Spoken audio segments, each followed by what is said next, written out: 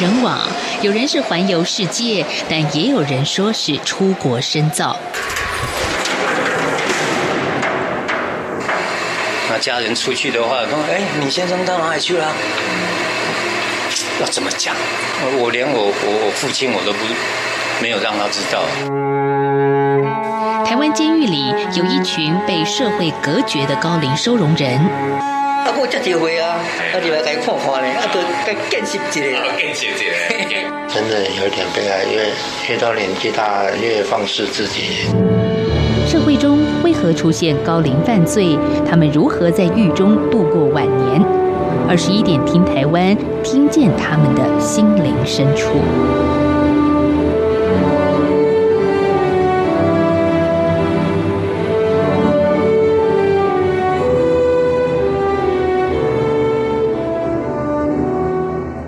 们生小孩，我没有参与而已。还没看现在孙子两三岁了，我没看过。啊，那当然啦，等回去就看得到了。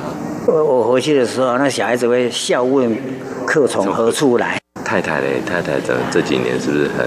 太太没有来看我，她她有写信来骂的狗血淋头。我现在心里一直希望说，我在还有一年多要关，她能够来看我一次就好了一，次就好了。不然他在生气。你还是很愧疚就对了哈，生气对呀、其实其实我我都觉得我们犯的是无心之过啊，没有想到说，哎，还严重啊。你刚开始以为是多少？刚开始以为不是开我们在用在玩这个的时候，就想不会被抓，我们已经很小心了，不会被抓。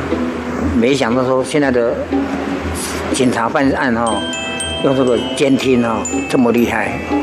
到到警察局，他就拿那个监听的译文给你看啊，你们几点几跟谁，几点几月几号几点几分讲了多久，讲了什么话，都把它翻成白话文这这样子啊。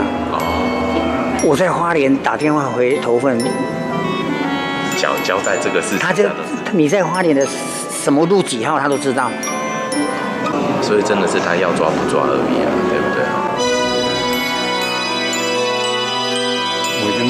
三年了，一零一零三年二月十一号，有办退休了吗？我已经退休十年了，他那个案件才才爆发出来，我六十二岁就退休了，对，已经过了十年的退休生活了。没有办法，我进来这边就要再检讨，到底当初怎么这么不注意啊？退休这十年怎么过的？带太太啊，跟孩子出去玩都有啊，日本啊、美国啊。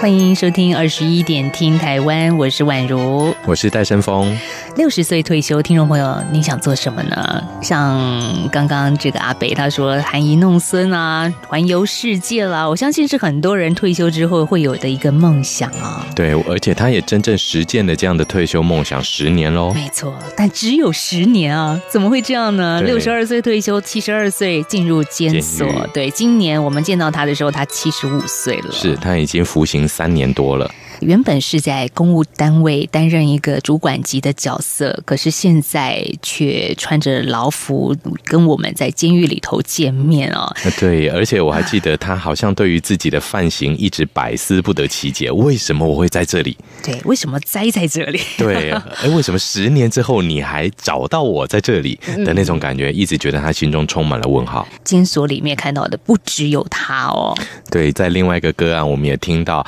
那这个个案更是有趣，他其实蛮活泼的，一直跟我强调说，我绝对不是因为经济的因素才犯罪的哦。那他是一位吸毒的老人。哦，他一直说他不缺钱，不是靠卖毒去赚钱，对，不没错，他一直跟我强调，我在外面以前年薪好几百万呢，要破百万轻而易举，我是卖车的最强的业务。其实，在台湾整个收容人里面，六十岁以上的这些阿贝级的，阿北阿妈啦，对，还有阿妈，对对对，就占了将近三千位耶。对，其实等于六万多个的三千，听起来似乎是还好，其实这样的一个老化程度，已经比我们在一般社会上的老化程度还要严重了。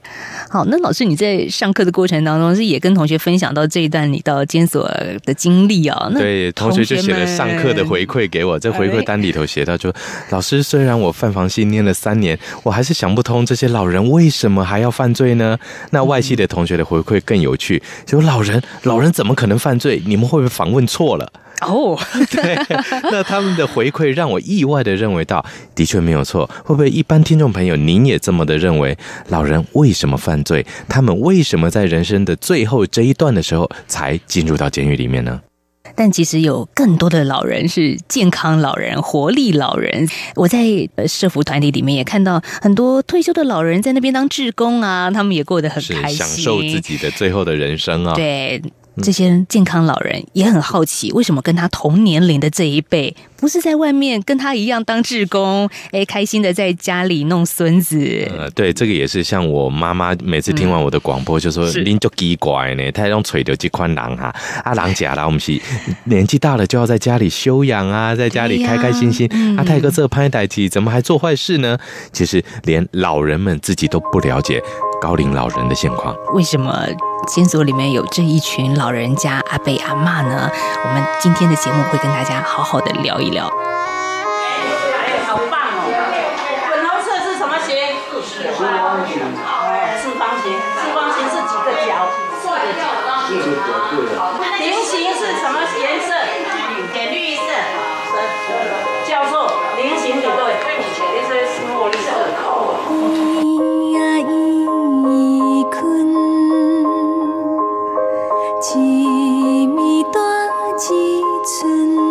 这里，这个是教授刘德跟刘美的。你看现在什么都没有。失智吗？失智，但是他很可爱。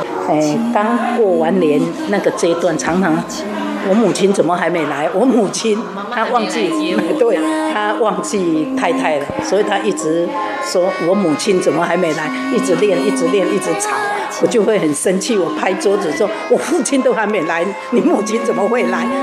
他他说：“哦，你父亲要来。”我说：“对，我父亲来了，你母亲就会来。”哎，就安静两个多小时。亏你想得 对，都在当志工。对呀，对呀，要不然在家都给电视看。呃，我自己有时候就会很忧伤啊，因为我很怕我老了会不会这样子拖累子女，有没有？自己就会觉得很悲哀。我真的我自己会有这种感触，所以我一直希望我不要走到这种地步，真的。但是他们又讲说，你每天都出来很快乐这样子，应该不会。但是不知道，因为我今年已经七十三岁了。对对对对。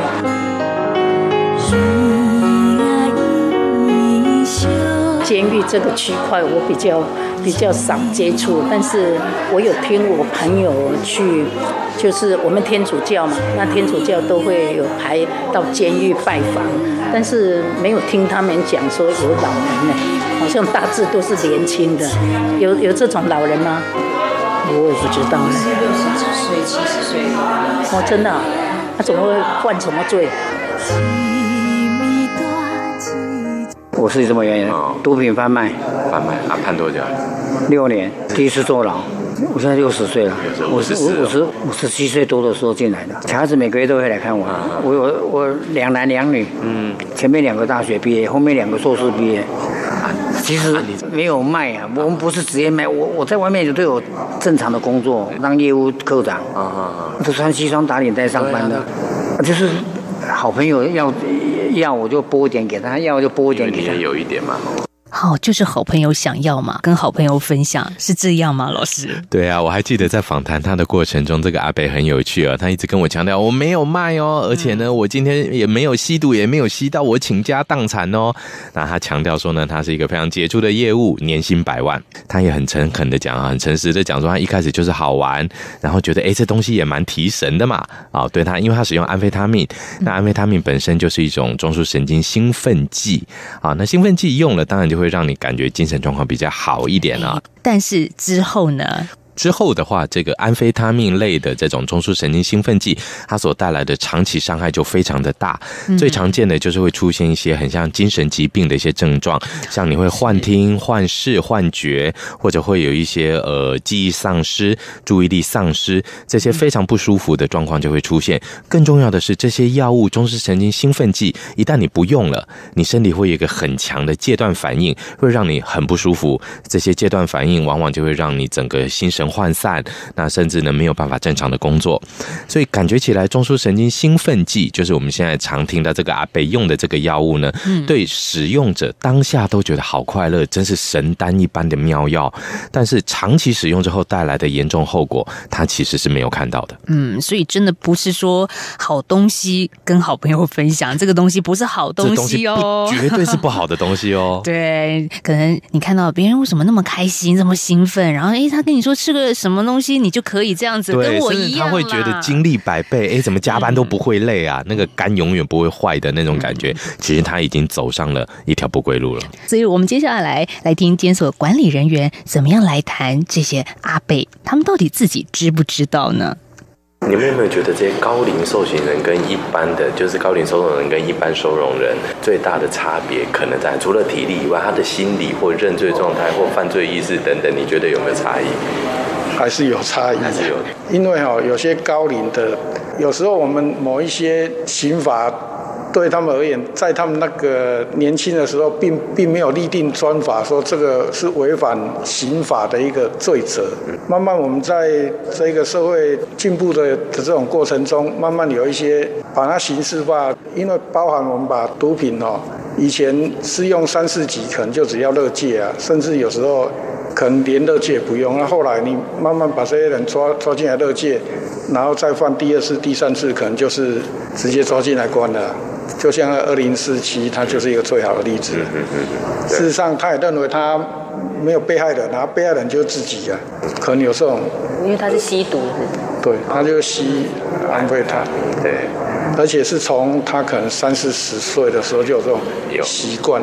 那像另外一位更不用讲，以前县政府的科长，那更不用讲了。他可能在他们那个年代，他们认为说这种事情没什么，很普遍。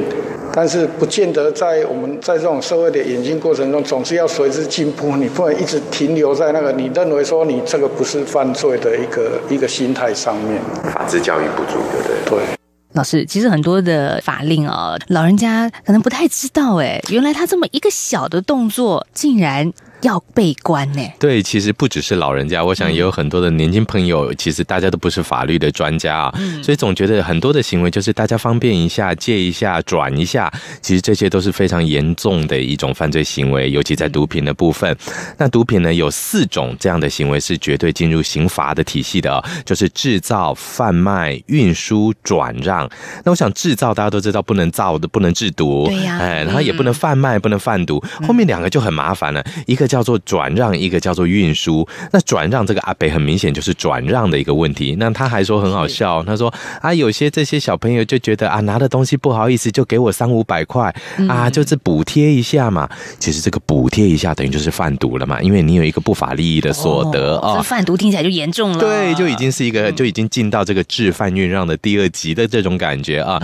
那其实运毒本身来讲也是有罪的，所以我们之前呢有非常多的警察单位都会宣导出国。不要随便带不明的行李，不要帮别人带行李。天晓得里面它是装海洛因还是安非他命？嗯啊，所以这些部分，请各位都要很清楚的知道，我们这些毒品的问题，制贩。运让都是不行的。可是呢，我相信老师您一定也有很多的经验，就是到监所里面跟高龄者宣导，保护自己啊，也不要让自己的家人难过。这个最有趣的就是我们在监狱里面做这些呃反毒宣教，或者是这种呃教育的时候呢，最常看到的就是这些高龄的伯伯们，常常不太觉得这个是有犯法的，他们会觉得说啊，我就年纪这么大了，用一下嘛，轻松一下。或者就是说嗨一下啦，有时候重回点年轻的感觉，那他也不觉得这个是一个犯法的行为。那种吸毒者对于自己犯法行为的犯罪意识是非常薄弱。家里知道了，我真的很很很 T T 啊。我八月被抓到，二月、三月、四月，我女儿、我儿子、我妈妈、我老婆都叫我不要吸了，会会出事情，不要卖了会出事情，我就 T K。我的通联记，警察抓我的通联记录都是七月份。哦。他如果是二月、三月、四月，我听他的话就不会有事，就没事了。哦哦哦。我的都是七月份的记录。我出去还要不要再吃？吸毒哈。嗯。现在想是不吸啊，哎，可是环境到了还是跑不掉。碰哎碰出去又碰到这样的人，嗯，吸毒的朋友，嗯，啊没有劲，你不要假装的啦，啊吸啊吸啊，又又吸到了，跑不掉哈，又回去了，真的是一日吸毒，终身戒毒。什么呢？毒品这件事情，至少呃，在校园里面哦，这几年有不断的宣导，但是可能没有宣导到我们年长的那一辈吗？是这样吗？这个的确是哈，这个年长的那一辈向来不是我们宣导的主题啦。嗯啊，那我们也总觉得各位听众朋友应该也会这样想，就是你都那么老了，你怎么还会吸毒呢？这个是毒品呢，这个对身体这么的不好。那年纪大的人根本被卡梅勒这类毒品呢，就是身体无法负荷才对啊，大家应该。要了解这点才对。不过问题就是，这些被称为毒品的、泛称为心理药物的东西，原先其实在它设计出来、发明出来的时候，都是具有一些医疗效果。吗啡啊，对，吗啡其实它是有一个镇痛的一个作用啊。那像大麻啊，那或者就是美国常用的泛滥中的骨科碱，那甚至台湾的安非他命等等 K 他命这些，其实在它发明当初的时候，嗯，都是对人类有益作为目的来发明出来的。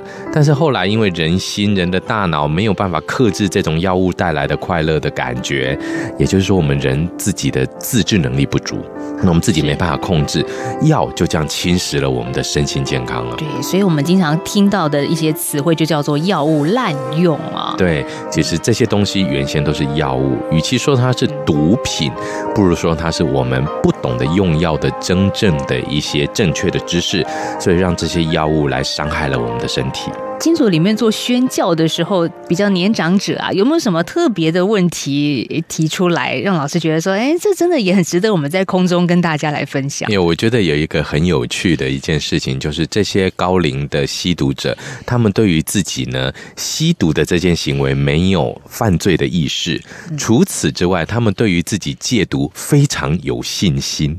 他们每次都会告诉我说：“老师，你放心，我出去不会吃了。年纪这么大了，我知道错了。但是我们会发现，台湾地区目前高龄收容人收容原因毒品前五名里面，算是一个很高的一个呃比例。那就回到这个点，大家都知道不能用，对呀。那为什么你还会有这么高的使用比例呢？那就告诉我们一件事情：这些高龄者，要么你就说谎，要么你根本其实逃不过药物的控制。”我们做过一个研究，就直接去访谈高龄收容人，就面对面问他：“哎，阿伯啊，你出去也个假道吧？你出去会不会在吸毒啊？”那些阿伯阿公一律千篇一律的答案：不会，没啊，绝对不会吃。斩钉截铁的告诉你，斩钉截铁，对，拍桌子的说。但是问题是我们发现再犯率这么高，想必他说谎嘛？那有一次我就换一个技巧问。那反正阿贝坐在我面前，我就这样问他说：“哎呀，阿贝啊，我知道你现在有吸毒，出去也不会吸了。”哇，他点头啊，是是贝啊，贝哥教授，你真懂我，真了解啊。对，然后我就问他一个问题啊，你觉得哈，现在等一下要进来访谈的那个你的同学，另外那个同学他也吸毒嘛？哈，你觉得他出去会不会吸？这个阿贝超有趣的，所有的阿贝都一样，第一个反应就是，当然啦，他一定会吸。这个豆哈就。囧哎这毒品很恐怖，没有人逃得过啦，只有我，我不会吸啦，其他人出去都会吸，就是他最棒了哦。对，很好玩。然后我们就发现，其实所有的人都知道，每一个人都无法逃离毒品的魔掌，不一定是说谎，他可能觉得 OK，我在监狱里面都没碰这么一两年了，我出去一定不会碰。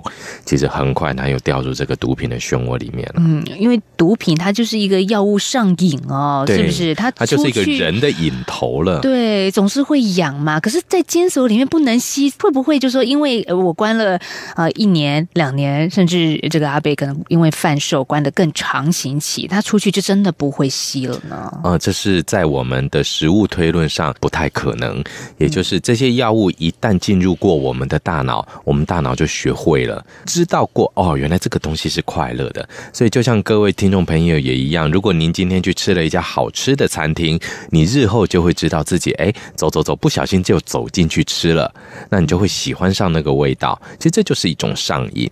或者今天呢，大家都喝含比较全糖、甜一点的饮料，换了一个生活范围、生活环境，那个东西没那么甜了，你就觉得哎，这不好喝。原来这就是人性啊！对，这就是一个引头嘛。那人性本身就是如此，只是毒品在法律的规范之下，不止我们今天制造、贩卖、运输、转让是有罪的。其实我们吸食毒品，在法律的规范上，虽然我们有三证法案的保护，也就是第一次、第二次我们给予你的强制乐戒或医疗戒治这样的一个处遇，但是如果你还有第三次，不好意思，塞欧那拉，你就拜拜了，你就被三证掉，就会进入到。监狱复兴，当然这样子也间接、直接的造成了台湾监狱极为膨胀的超收问题，因为这是人性问题等于犯罪问题的一个非常不好的恶性连接。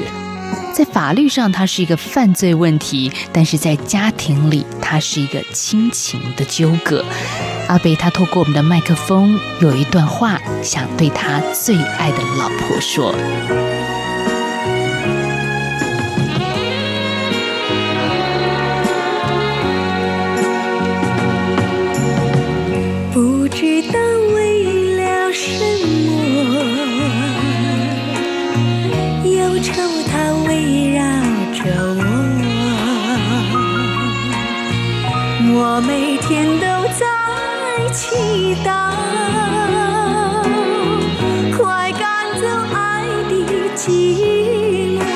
如果有机会的话，我希望再给我一次机会，我一定会好好做的，好好陪伴你到老。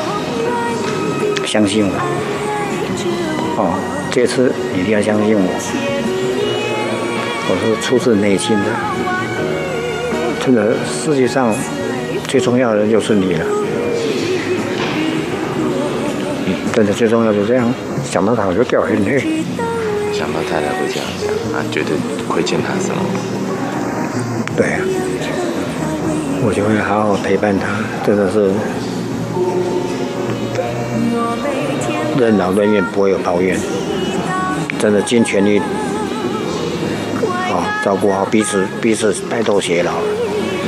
我们结婚三十几年了，我知道他生气了，他是嘴硬心软的人，嗯嗯，哦啊，也看我回去的表现了，我相信他还会再接纳我，这样很好，嗯，要对自己有信心的。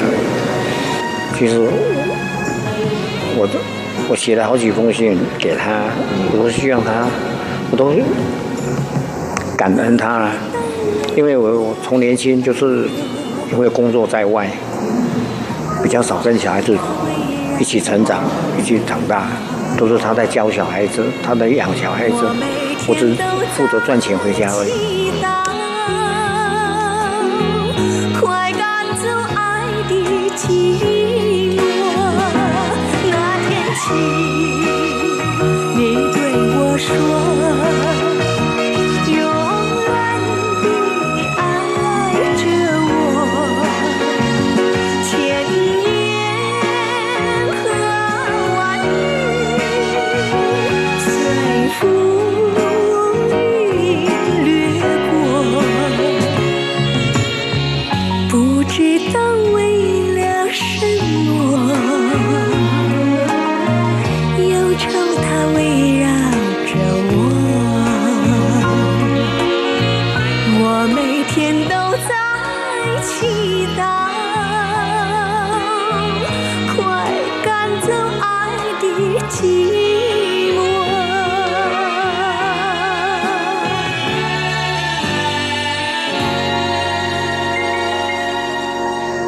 今天来三个，我我最六十岁最年轻的，那个大哥几岁？那个七十二，那个七十五、七十六了，啊，那个那个三三年八了，这个十年，我这个六年。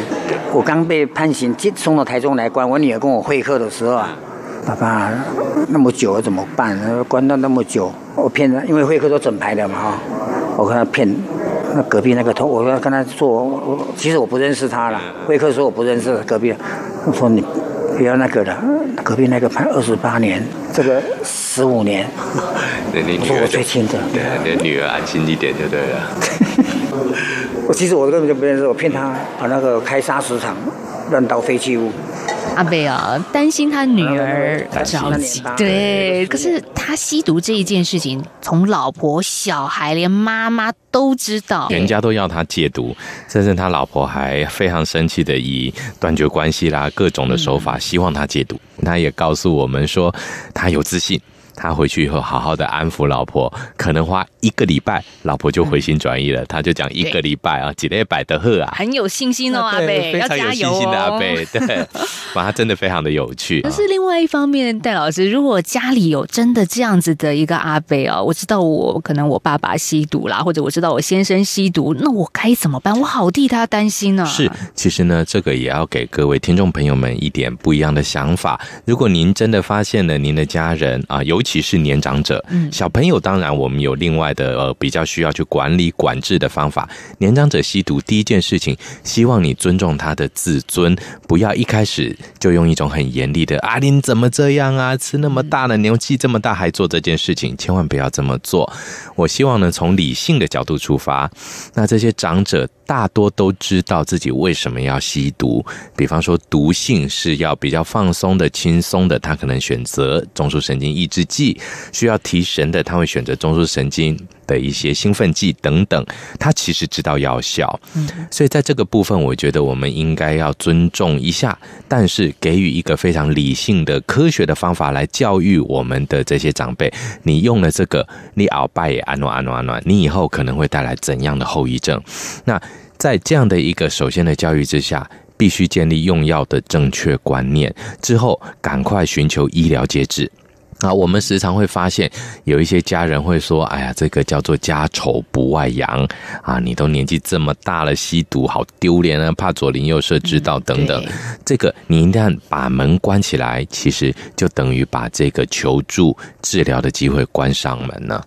刚刚宛如问的很好，如果发生这个现象，第一个，我们希望能够呢全家一起好好的谈，并且弄清楚使用的药物是什么，不用骂，也不要觉得非常的压抑。因为其实药物已经侵蚀台湾社会十分的严重，这可能性是会发生的。那一旦了解了药物使用的类型之后，那希望各位呢能够有比较专业的、正确的用药的知识，然后慢慢的一点一点的。减低药物的需求。如果在这个部分有任何的困难的话，您可以参考有点自助性行销了啊。参考呢各县市的毒品危害防治中心，他们都会有匿名戒治、匿名医疗这样的一个服务。在医疗戒治的协助之下，我们就可以帮助您的家人呢，成功的在生理层面。戒断这个毒瘾，心理上当然还会想要一直的哈哈，痒啊，觉得痒痒啊。但这个痒呢，我们心理学家们也做了研究，怎么解决这个羊，就是人际关系。如果你愿意关心他，跟他互动，越温暖的家庭，毒品越进不来。很棒哎，要从生理跟心理方面都要一起关心，一起照顾治疗哦。是的，但我们也看到这个阿北，他其实戒断不止一次了，他也。不断的在过去几十年的一个药物成瘾过程当中，也有心想要戒断啊，他也知道太太会很生气。可是，就是人生有一关过不去啊。对，其实呢，我觉得在他的过程中哦，家庭支持是足够的，对，但是不够的反而是他缺乏药物的正确知识。就像他说啊，我就只是借给小弟用，啊，小弟给我钱，你就说我贩毒。他一直对于法官的这个判决有点不以为然。其实这个就是贩毒啊啊，所以呢。毒品是一个生理的问题、心理的问题，同时它更是一个法律的问题。要解决毒品、解决高龄者用药的问题，我们必须要三管齐下。